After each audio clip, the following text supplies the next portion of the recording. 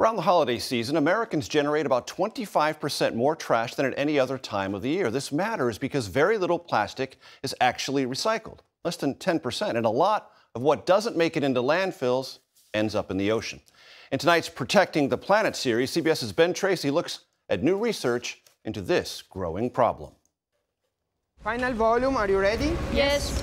This team of international scientists working off the coast of Panama we are exploring the unexplored.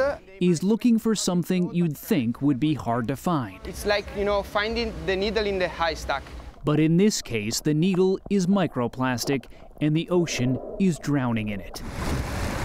An estimated 33 billion pounds of our plastic trash enters the oceans every year, eventually breaking down into tiny fragments. Microplastics are uh, small uh, plastic fragments that are smaller than 5 millimeters. So we're talking kind of everything from like pencil eraser to yeah. less than a hair. Yes.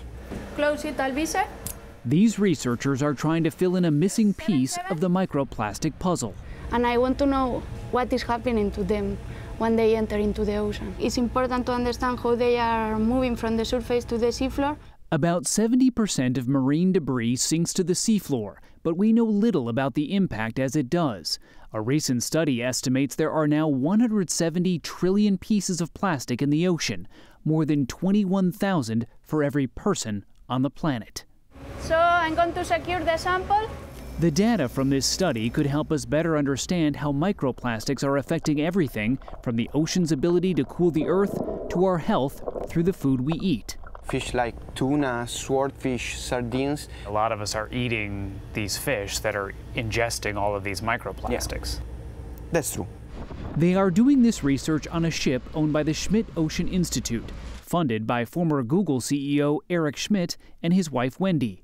They let scientists use it at no cost, but there's a catch. One of the requirements of using this floating lab for free is that the scientists have to share their data with other scientists all around the world. All the knowledge that has been uh, you know, gained uh, during these years about plastic pollution, I think it's starting to change people's mind. Because a lot of what we think is disposable never really goes away. Ben Tracy, CBS News, Panama.